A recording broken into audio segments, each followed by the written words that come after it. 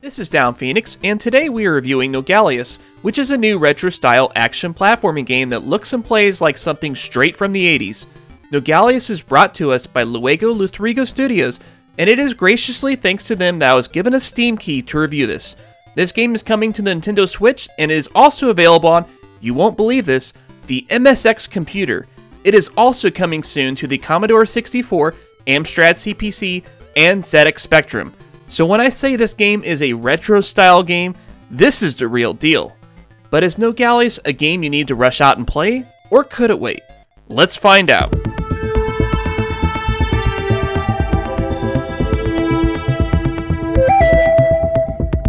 Nogalious starts off with our titular hero, Nogalious, and his daughter Mariette out in a field.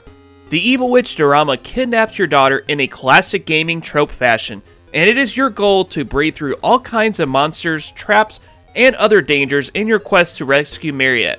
The simplistic story doesn't offer any twists or turns, but it does serve as an effective plot to give you all the background info you'll need, which is not much. The gameplay of Nogalious is very simple but easy to pick up. You have your normal buttons for attacking and jumping, as well as a contextual action button, a button used to push and pull objects, and two buttons to cycle through various weapons you can pick up. The platforming is executed well with the inertia being fully player controlled, and you can stop on a dime. That said, you do have to grasp the limitations of your character's movement, given that this is an old school game, it certainly is stiffer than a modern platforming game. It can be very challenging to navigate through all the various hazards that you will encounter, but the controls are responsive and won't fail you in your journey. The presentation on hand is very old school and has the authentic look of a 1980s computer game. The interface has a simplistic style with a lot of icons on the screen, which was typical for the time period. The sprite work and color palette is fantastic, with very limited colors and nice simple animation.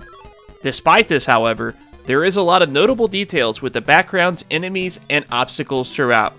Retro aesthetics oftentimes can be used to mask poor art design, but that is definitely not the case here. The visuals on display feel right at home, and I'm sure anyone who is a fan of the old school computer games will get a real kick out of it. The sound design and music also harkens back to the games of yesteryear, with sharp tones, deep static, and charming chip tunes. And though the style of the game has a great nostalgic feel, it is important to realize that the substance of the game is dated.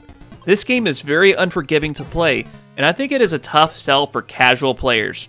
The game gives you 5 lives and 4 continues, and getting hit unless you have an armor piece causes you to lose a life and have to redo that screen.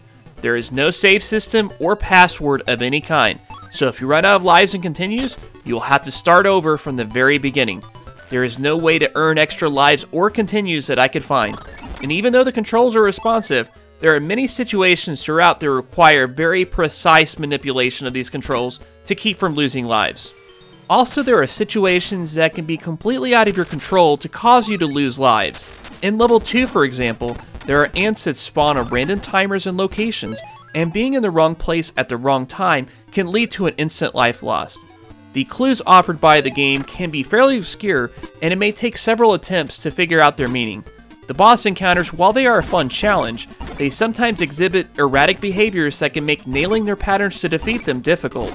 And even when you take what you've learned from repeated plays of stages in the game, there are still circumstances that will undermine your progress despite your best efforts.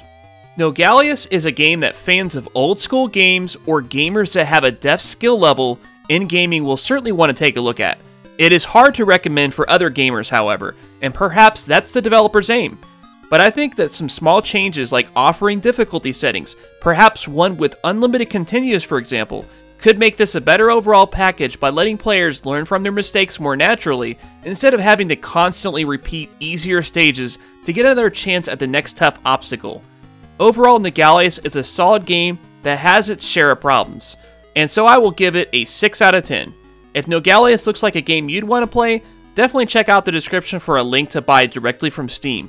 And if you collect for the old computer systems, perhaps consider adding some life to that old system with some of the ports available for the MSX and other platforms. Please consider sharing this video if you enjoyed this review. Until then, Down Phoenix out.